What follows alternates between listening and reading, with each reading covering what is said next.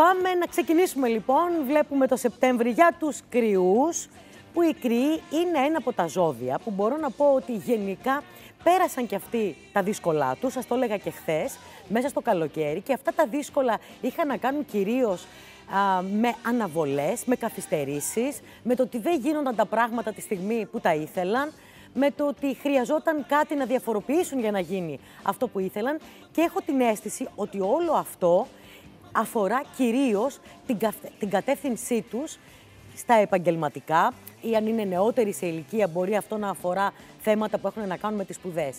Ε, κάποιοι μπορεί να είχαν και κάποιες αναποδιές. Οι εκλήψεις δηλαδή μπορεί να δημιούργησαν ένα κλίμα ρευστότητας και ανασφάλειας και τώρα μπαίνοντας στο Σεπτέμβρη είμαι βέβαιη ότι θα αρχίσουν τα πράγματα στην ουσία να, να, να κυλάνε πολύ καλύτερα έναντι του προηγούμενου τριμήνου. Για τους κρυούς λοιπόν, από τη μια πλευρά δουλειά, από την άλλη πλευρά φυσική κατάσταση και υγεία είναι αυτά που θα σας απασχολήσουν περισσότερο μέσα στο Σεπτέμβριο. Είτε αυτό σημαίνει να κάνω ένα check-up, είτε σημαίνει γενικώς να κοιτάξω τι μπορώ να βελτιώσω στα θέματα της υγείας. Είναι πάρα πολύ σημαντικό. Τώρα, ποιο είναι το σημείο του Σεπτεμβρίου που πρέπει να προσέξετε οι κρυοί και κυρίως οι κρυοί του Μαρτίου. 24 του μήνα έχει μια πανσέλινο πανσέλινο στο ζώδιό σας, που σημαίνει ότι αν έχετε γεννηθεί Μάρτιο, ξεκίνημα του μήνα, ξεκίνημα μάλλον του ζωδίου, πρέπει να είστε προσεκτικοί και σε θέματα φυσικής κατάστασης και υγείας και στο κομμάτι των σχέσεών σας και γενικότερα δεν είναι καλή μέρα αυτή και αυτή που έπεται, η 25η, αν θέλετε να ξεκινήσετε κάτι ή να υπογράψετε κάτι. Οι καλές μέρες για σας, οι πιο τυχερές είναι 12, αύριο δηλαδή, 15 και 23. Σε αυτές τις μέρες, αν θέλετε, είπαμε να α, τις αξιοποιήσετε για κάτι σημαντικό. Να πω κάτι, επειδή ρωτάνε εδώ στο Instagram, είναι και ημερομηνίες γάμου καλές.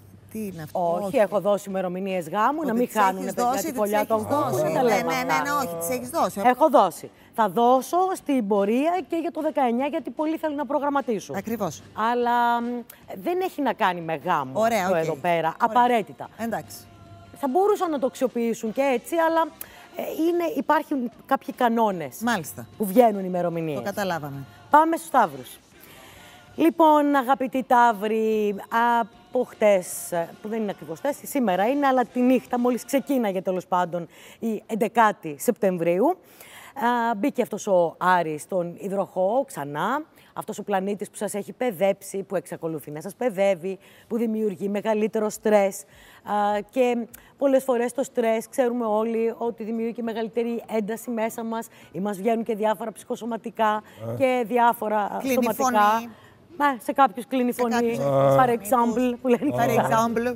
που λένε και Γάλλοι. Λοιπόν, ε, περισσότερο το κομμάτι της καριέρας, δηλαδή ο Άρης βρίσκεται ακριβώς σε αυτόν τον τομέα, στο οροσκόπιό τους και θα βρίσκεται εκεί ε, μέχρι τις 15 Νοέμβρη. Έτσι τα θέματα της δουλειάς, οι σχέσεις με προϊσταμένους, με συνεργάτες. Δηλαδή φαίνεται ότι μπορεί να υπάρχει κάποιο πρόσωπο ή και κάποια πρόσωπα τα οποία λίγο να σας ταλαιπωρούν. Ναι. Να μην είναι πολύ δεκτικοί σε αυτά που τους λέτε ή να θέλουν να επιβάλλουν τους δικούς τους κανόνες, τις δικές τους αποφάσεις. Άρα να είστε σε μία, ας πούμε, συνθήκη λίγο έντασης, μάχης και για κάποιους από εσά μπορεί να είναι και πόλεμος αυτό το πράγμα.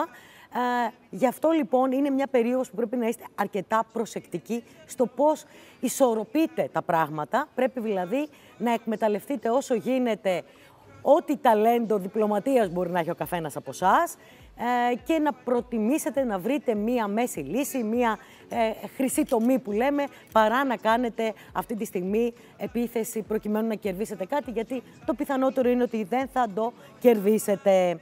Από την άλλη πλευρά έχει περάσει η Αφροδίτη στο Σκορπιό, άρα και οι σχέσεις οι προσωπικές, είτε οι ερωτικές, είτε οι φιλικές, φαίνεται ότι σας απασχολούν ιδιαιτέρως και νομίζω ότι εκεί θα μπορούσε να έχει και μια θετική εξέλιξη το πράγμα, είτε δηλαδή να προκύψει ένας καινούριος έρωτας για σας τους Σταύρους ή μπορεί να προκύψει και η απόφαση μιας επισημοποίησης, η συμβίωσης, κάτι τέλος πάντων που να προάγει έτσι λίγο περισσότερο την προσωπική σας ζωή. Κάποιοι θα ανοίξετε και το φιλικό σας κύκλο πιο πολύ μέσα στο επόμενο χρονικό διάστημα του Σεπτεμβρίου.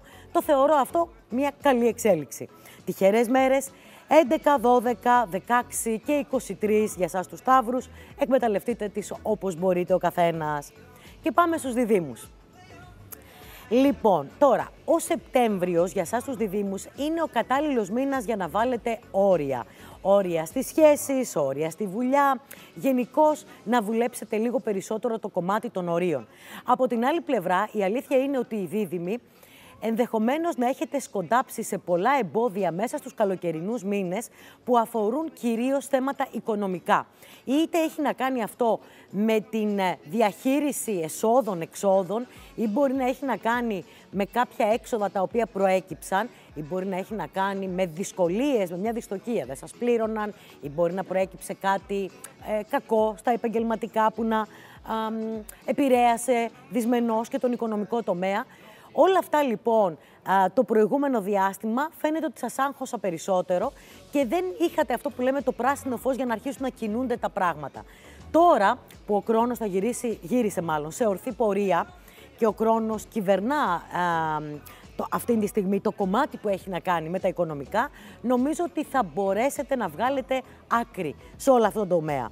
Από την άλλη πλευρά μπορεί να προκύψει και μια ενδιαφέρουσα επαγγελματική πρόταση για όσους μπορεί να είστε στη φάση που ψάχνεστε στα επαγγελματικά σας να κάνετε κάτι καινούριο. Και η Αφροδίτη και ο Δίας αυτή τη στιγμή στο Σκορπιό βοηθούν στο να προκύψουν ενδιαφέροντες συνθήκες στον επαγγελματικό τομέα, αλλά θα χρειαστεί και εσείς οι ίδιοι να κάνετε κάτι, να ψαχτείτε δηλαδή περισσότερο. Τυχερές μέρες για σας θα δείτε ότι είναι πάρα πολλές στην πορεία αυτής της εβδομάδας, 14, 15, 16, 20, 21, 22. Αυτές οι μέρες είναι σημαντικές. Αν θέλετε να κάνετε ένα νέο ξεκίνημα σε ό,τι αφορά το σπίτι, την οικογένεια, αν θέλετε να κάνετε μια μετακόμιση, αν θέλετε να ψαχτείτε περισσότερο για μια ενοικίαση, μια αγορά ή μπορεί να είναι μια ε, καινούργια αρχή, ένα καινούργιο επαγγελματικό βήμα.